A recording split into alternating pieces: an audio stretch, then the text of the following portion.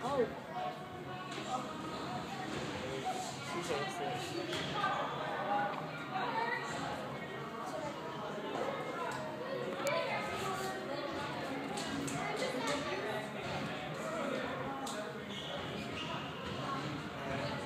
love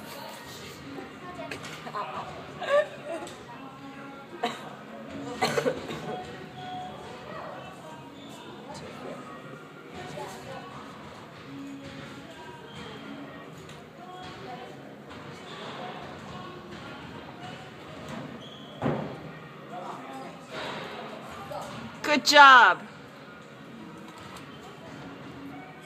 Yeah. Lafayette, honey, you're almost catching up. I didn't. Why did you look at me? I didn't say that. That was her.